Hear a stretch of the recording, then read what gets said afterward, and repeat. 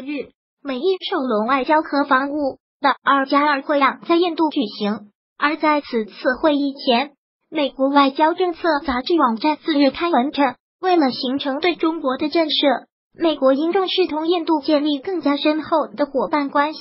毕竟，下一届美国总统都可能是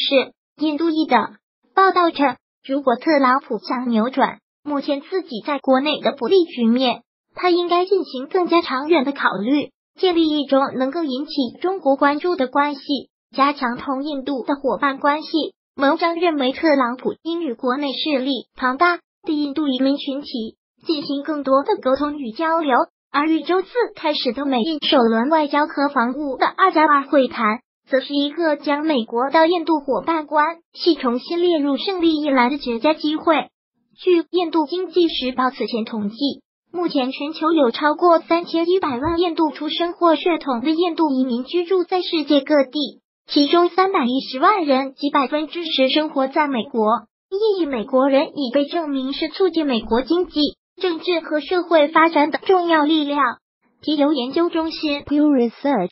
二零一三年发布的一份研究报告显示，印度裔美国人家庭年收入中位数为八点八万美元。而亚裔则为六点六万美元，美国人口为四万九千八百美元。研究还显示，百分之三十八的印度裔美国人拥有高级学位，而所有亚裔美国人的比例为百分之三十。裔裔美国人在科技行业也大有作为，诞生了许多高科技企业家。Vivek Woodward 为两千零六至两千零一十二年期间进行的一项研究表明。与一九九五年至二零零五年相比，总体移民创业停滞不前。在印度移民的初创企业较上一时期增长了百分之七，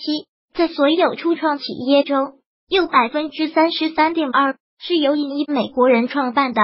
并且在本届美国联邦政府及内阁机构中，特朗普总统已先后任命了多达八位的印度裔执掌政府重要部门。现年四十六岁的美国常驻联合国代表尼基·黑利 （Nikki Haley） 是特朗普任命的八位印度裔共和党人士中曝光率最高的一位。在特朗普之前，美国前任总统乔治 ·W· 布什和奥巴马都意识到美国与印度在世界舞台上的强大和充满活力的伙伴关系的重要性，并跨越党派界限来加强这种关系。